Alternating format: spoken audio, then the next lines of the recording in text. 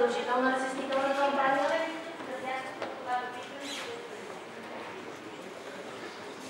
Това да не забравяме, че е вече в правото решение на Общински съвет.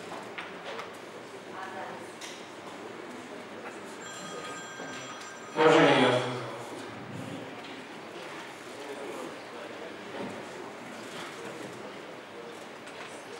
Уважаеми приятели, аз наистина слушам внимателно. Няма да си заявявам като експерт, но просто това, което ми направи впечатление, ние мислим много магистрално. Българите се научиха да само за пътища, за саниране, а когато става въпрос за тази култура, аз не казвам, че ние искаме да подкрепяме. Приветствам позицията и на общината, приветствам позицията и на инициативния комитет. Наистина трябва да има вълнативност какво ще се случи. Това, което и господин Знаков Димитров говори, и аз съм в течение от толкова време, той говори наистина много истини и доста неистини. Сега не говоря за натиск, ние не говорим за политика, не говорим за корупционни схеми по тази но желая наистина това допитване. Но моето желание, приключваме още 10 секунди, този въпрос, който е поставен, още първият въпрос, който предлага кмета, това противопоставя хората. Той трябва да отпадне веднага. Кой не разбра? Кой разбра, нали това е въпрос за обсъждането и за референдума или сесията, която пристига от петък. Тогава това ще коментираме. Не разбрах за кой въпрос става. Първият въпрос, който вие поставите, дали да се спре магистралата и да се запази в цялостния вид. Това още така поставяме въпроса, говори за противопоставяне. Колко да се противопоставя веднага? Има варианти. Никой не е за спиране на магистралата. Това е стратегически важен от магистралата. Но и народ без история е народ без настояще и без бъдеще. И аз не искам в този град, защото съм израснал този град, да ни се обяснява, че градът излезе от нищото и сега, когато излезе от нищото, аз искам да чуя тук варианти. И затова да може да оставя, че това месеца ние да се обединим. Да има нещо, което да ни обедини, нещо градивно, за да се случи. Иначе има щастието и нещастието, господин Варко Димитров, да видя това, което се случи в Сарево и в Кочевено Прескоп. Това може да стане Господин Симеонов, значи първия въпрос е като вариант, който съществува и който се разискваше. Когато хората не го приемат, просто казват не. Има други два с, заобик... с заобиколното трасе и така, както до сега коментирахме. Имаме една молба. Тук чувам постоянно доцент Димитров казва своето експертно мнение. Имам чувство, че най-накрая ще излезе виновен, че е открил гробницата. Нека малко по-коректно се отнасяме. Коментираме варианти, всеки нека си каже позицията без квалификация.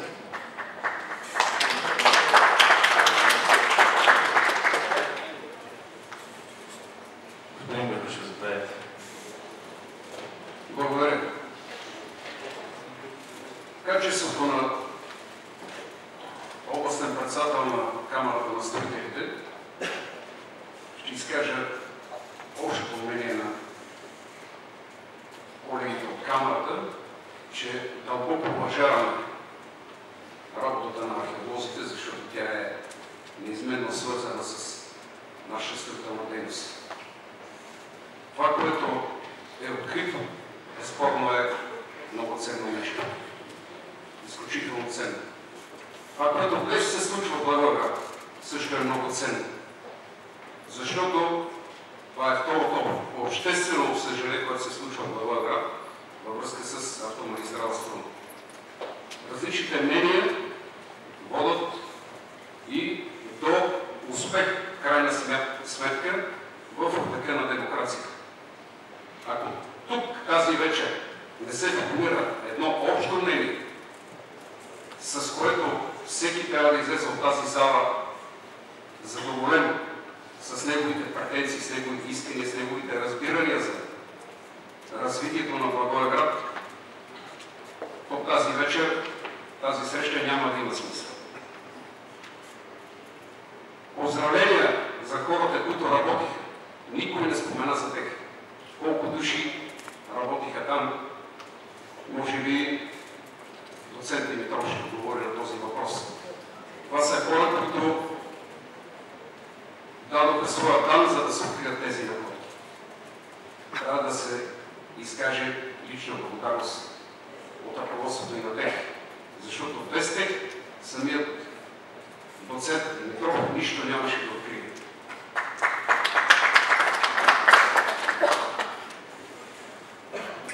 Като председател на строителната камера трябва да защитавам строителния бизнес. Трябва да защитавам бранша. В момента там работи една от най-големите строителни фирми на България. С най-големите мощности. Не виждам техен представител тук, но като председател на камерата аз имам интерес фирмата да продължи работа и в никакъв предлог да не спита тази работа. Трасето е дълго достатъчно, за да може да се работи без прекъсване. А това е. Какво ще последва? И каква ще е съдбата на тези находки? Трябва да го решат само специалистите. И то точно специалистите, които се занимават с тази работа. От изказванията на всички тук мои съграждани личи, че не сме специалисти. Както аз не мога да дам мнение по находките, не мога да дам мнение как ще се преместят и къде трябва да се преместят. Така, моля и хората, които не са компетентни да ни изказват такова мнение. В света има толкова много примери за изместени находки. В света има толкова много примери за обработени находки. В света има и толкова много примери за погубени находки. Открити, но недоразвити, ненаправени. Доколкото става въпрос за развитието на туризма, да, това е един сериозен отрасъл, който дава съществен принос за економиката на цялата страна. Магистралата, магистрала Струма, не дава по-малък принос за економиката на страната. Напротив, всичко е свързано. Затова нещата трябва да се разглеждат комплексно. Ако това нещо беше Япония, може би ще да направят стъклени магистрали, хората пътувайки по нея да я гледат. Економическия въпрос тук е много сериозен. Споменаха се цифри, които ми се изправи децата. 40-80 милиона отгоре и така нататък. От 4 милиона. Не знам какви са изчисления. При 400 метра осово разстояние, дължина, с 280 метра за обиколки, не виждам как може да се случи. Това го чух от моят приятел Лазар Андреев. Ако не съм чул добре, нека да бъда опониран. С 280 метра за обиколки в никакъв случай не може да се заобиколи 120 декара находка. Извинявам се. Трябва да се говори компетентно. Какво трябва да стане, за да бъде атрактивно? Посетил съм много, ама изключително много в цяла Европа. Атрактивни находки от векове. Уважаеми съграждани, в България са открити много такива. Едва ли има държави, които да претендират за повече находки, отколкото България. Ако ми посочите, освен горе-долу Перперикон, казвам горе-долу, защото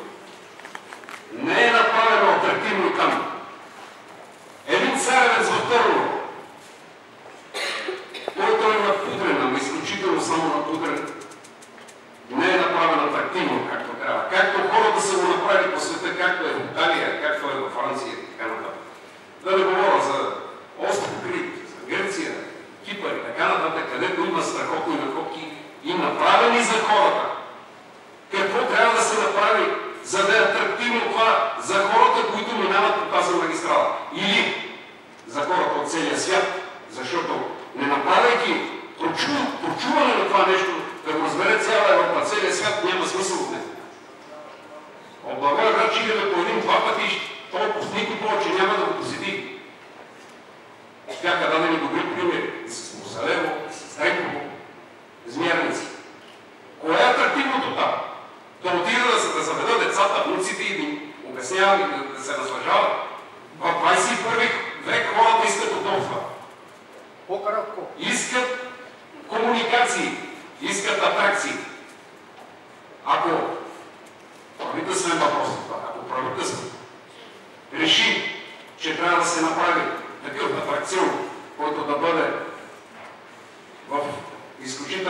За България, аз смятам, че с много по-малко пари от това, което се спомена тук, десетки милиони, може да се случи. И тогава вече ще бъдат благодарни и Покровник, и Благоевград, а по този начин село Покровник и село Селедно би трябвало да използват, за да могат да се обърне внимание, да се помогне със средства на тези две селата, защото отивайки на такъв обект и околните села трябва да бъдат атрактивни, както е направено по целият цивилизован свят. Така че експертите нека да се произнесат за преместването, да се запази всичко, което е ценно, което е възможно и което трябва да се види от поколенията, но аз защитавам бранша, защитавам бизнеса, защитавам работната ръка, защото ние не само сме бизнесмени, сме работодатели. По този начин ще се открият много работни места в Благоевград. Така че, нека, крайна сметка, експертите да си кажат думата. Благодаря за вниманието. Господин Кратък, искам само, ако имам възможност, правя много бързо, защото така, от 3-4. За една минутка искам само да отговоря на господин Байкушев, моето уважение към господин Шапет, към господин Байкушев. Нашата позиция на инициативния комитет, който са разписали 1000 човека, петицията, подписана от хора, които живеят в България, в Германия 5000, в Америка и България 2000, Фейсбук група 12 000, не е да спрем магистрала. Това, което искаме, е да си продължим магистралата, срокове ще продължи. Искам да кажа, че нещо, което не са разбрали, не значи, че не е вярно. Това, което излезе данни, ми е предоставено от проектантска фирма. Не съм си го съчинил и съм си го измукал от пръстите. Второто нещо, Сибикли, това също нещо, което ние говорим, е страна за 8 месеца. И трето, магистралата по-бързо ли ще се приключи в Кресненското дефиле? Защото тук като пуснем там в две, тук в 4 платна, там в две, как ще пътуват тези хора? Няма ли да стане тапа? Значи не противопоставяме и не дайте да изкривявате темата. Ние не искаме спиране на магистралата. Ние предлагаме решение за запазване на скобките на место и социализирането им и изменение с 260 метра от едната и 260 метра от другата страна трасето. Като 500 метра слизат долу. Това е километър и 100. Нека да сме точни и ясни. Не искам, не искам да си изкривява това, което аз казвам. Написано е, обосновано е. Ако иска някой, ще му го дам. Ще дам контакта на проектантската фирма. Аз не заставам за това да съм срещу транспортни и строителни фирми. Ние заставаме само единствено за български интерес. Те на 2 милиона и 700 економически емигранти искаме да се върнат. Говорим, се топи всяка година. Колко са в цигарената се отрази, колко са в юзото се отрази. Ако това ние не направим фабрика там и да изкарва тук икономиката пари, загива града. Благодаря.